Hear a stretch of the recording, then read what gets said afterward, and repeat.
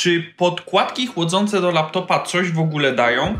A może to jest jedna wielka ściema? Zamówiłem cztery różne podkładki chłodzące z różną ilością wentylatorów.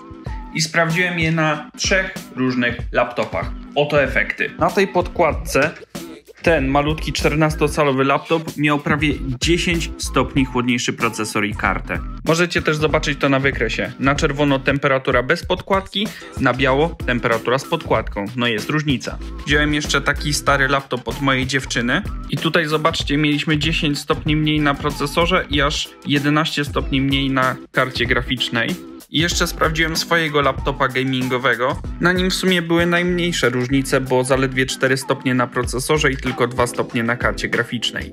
Więc podkładki chłodzące to nie jest ściema, ale po prostu zależy od waszego laptopa, ile wam pomoże.